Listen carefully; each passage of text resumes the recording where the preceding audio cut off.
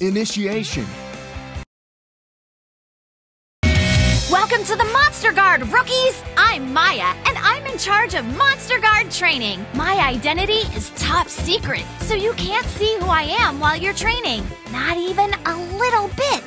Our motto is learn, practice, share. Emergencies can happen at any time, so we need to learn how to stay safe during an emergency, practice what we learn, and share with our friends and family. Can you do that? Yes. I can't hear you! Yes, ma'am!